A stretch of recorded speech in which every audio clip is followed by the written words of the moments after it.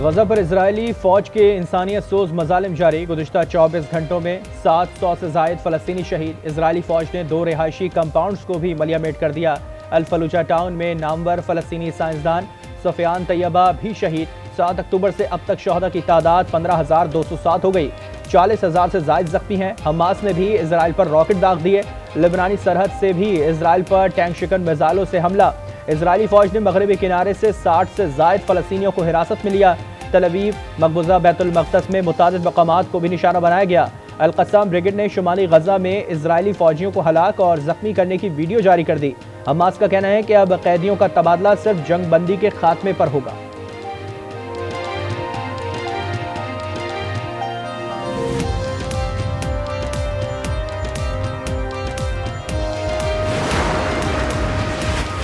Election में selection नहीं होने देंगे। अगर जमहूरियत डी रेल हो गई तो दोबारा ट्रैक पर लाना मुश्किल होगा। अमीर जमात इस्लामी सराजुल्ला कहते हैं, पाकिस्तान पर माफिया को मुसलत किया गया है। आठ फरवरी को इंतबात के ज़रिए इनका एहतसाब करेंगे। इन दिनों सियासी जोड़ तोड़ उरूज पर है। जमात इस्लामी इलेक्शन में आवाम से इतिहाद करेगी।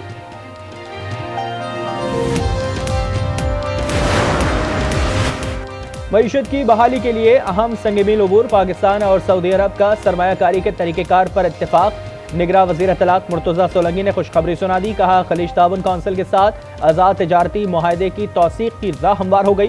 पाकिस्तान इस इकदाम का उन्नीस साल से मुंतजर था। गुजशत पंद्रह साल में खलीज ताउन कौंसिल से किसी मुल्क के साथ पहला तजारती और सरमाकारी माहा होगा।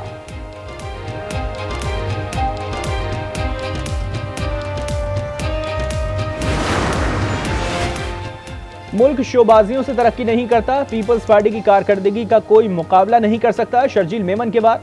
कहा, नून लीग कोयला निकालने का क्रेडिट लेने की कोशिश ना करे। नून लीग ने सिर्फ़ लाहौर को पूरा पाकिस्तान समझ रखा है। हमें धांधली करके इकतदार में आने की ज़रूरत नहीं। रहनुमा पीपी ने सियासी जमातों और इदारों को एक साथ बैठने का मशवरा दिया। कहा, सब मिलकर मुल्क की मुआशी पॉलिसी बनाए। पीटीआई के इंट्राबाड़ी इलेक्शन को मुतनाज़ा करार दे दिया। कहा, पीपल्स पार्टी आठ फरवरी को तारीखी फतह हासिल करेगी।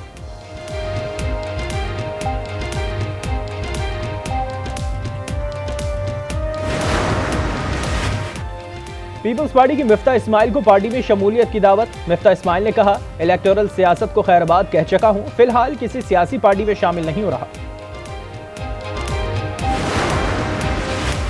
आइंदा दो हफ्तों में अहम अमरीकी अहदेदार पाकिस्तान का दौरा करेंगे। तर्जुमान दफ्तर खारजा के मुताबिक अमरीकी असिस्टेंट सेक्रेटरी जुलिटा वॉल्स का दो रोज़ा दौरे पर इस्लामाबाद पहुँची। नुमाइंदा खसूसी बरए अफ़गानिस्तान, थॉमस बेस्ट सात दिसंबर को पाकिस्तान आएँगे। Principal deputy assistant secretary Elizabeth Horst नौ दिसंबर को दौरा करेंगे। सिंध की सकाफत को उजागर करने का दिन। कराची समेत सूबे भर में रैलियाँ और तकरीबा हर तरफ़ अजरक टोपी और सिंध के सकाफत के रंग बिखर गए।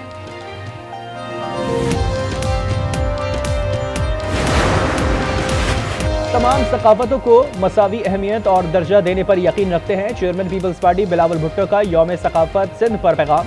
कहा, सिंध की सकाफत कदीम तरीन और खूबसूरत तहजीब का आकाश है। सिंध के लोग अमन और वतन दोस्ती पर यकीन रखते हैं। अपनी सकाफत आलमी सतह पर उजागर करके पाकिस्तान का मजबत चेहरा पेश करने का मशवरा। और German consul general doctor Rudiger Lotz भी पाकिस्तान के सकाफती रंगों में रंग गए। सिंधी टोपी और अजरक पहनकर सिंध के बासियों को मुबारकबाद दी। कहा, गुजशत साल से सिंध में सफ़र कर रहा हूँ। मोहनजोदड़ो, मकली, ठट्टा, सखर और हैदराबाद देखा। सिंध की सकाफत से बहुत मुतासर हुआ। हूँ